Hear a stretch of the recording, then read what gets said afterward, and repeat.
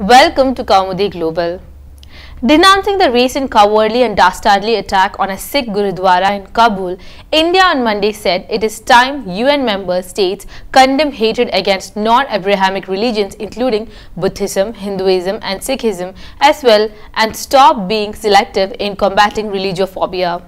Several blasts tore through Gurudwara Karte Parwan in Kabul's Baghe Bala neighborhood on Saturday killing two persons including a Sikh.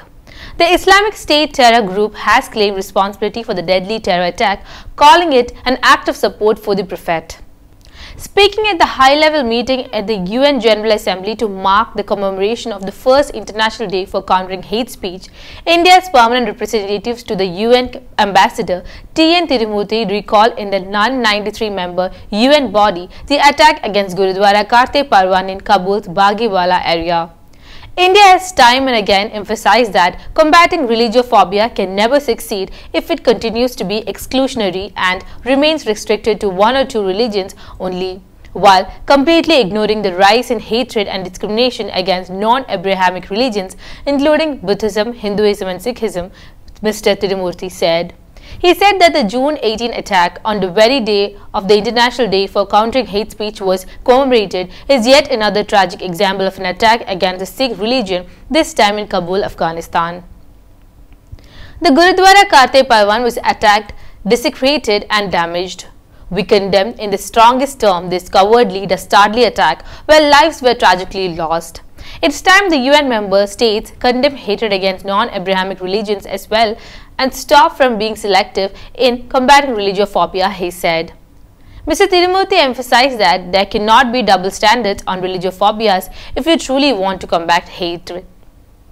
India has consistently called, including at various UN platforms, for concentrated efforts by the international community to combat hate and violence not just against Abrahamic religions, but against all religions including Sikhism, Buddhism and Hinduism.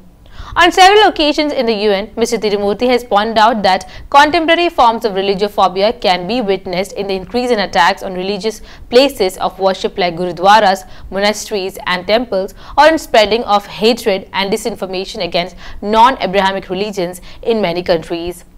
India has said that the shattering of the iconic Bamyan Buddha by fundamentalists, the terrorist bombing of the Sikh Gurudwara in Afghanistan where 25 Sikh worshippers were killed in March 2020 and the destruction of Hindu and Buddhist temples and minority cleansing of these religions by countries call for condemning such acts against these religions also.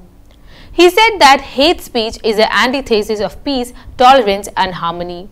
Unfortunately, we continue to witness a rising trend in hate speech. This was particularly evident during the COVID-19 pandemic, he said adding that India had joined 12 other countries to issue a cross-regional statement on the infodemic in June 2020.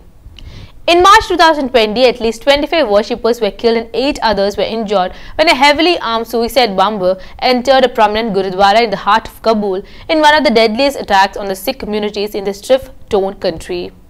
In 2018, a suicide bomber struck a gathering in the eastern city of Jalalabad whilst another Gurudwara was attacked in 2020.